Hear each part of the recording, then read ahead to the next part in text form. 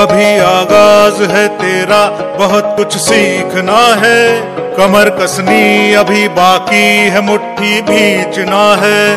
अभी आगाज़ है तेरा, बहुत कुछ सीखना है। कमर कसनी अभी बाकी है, मुट्ठी भींचना है। भले हालात हो, कैसे भी बस ये सोच ले तू। यही है जिद यही है रार, बस अब जीतना है। लिखूँगा खुद नई तकदीर, अपने हाथ से मैं। रगों में खून के संग इस जुनू को घोल के रख। कसौटी वक्त की है, हौसलों को